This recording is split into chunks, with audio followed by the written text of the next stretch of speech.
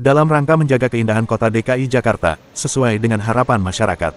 Satpol PP Kecamatan Kebon Jeruk dan gabungan TNI, Polri, tiga pilar Kebon Jeruk, menggelar penertiban pedagang kaki lima yang berada di atas trotoar, Rabu, tanggal 10 Juli tahun 2024. Penertiban dilakukan sesuai dengan Peraturan Daerah Nomor 8, Tahun 2027, tentang ketertiban umum, fungsi utama trotoar adalah sebagai jalur bagi pejalan kaki. Lokasi penertiban berada di wilayah Kelurahan Sukabumi Utara, Kecamatan Kebon Jeruk, Jakarta Barat.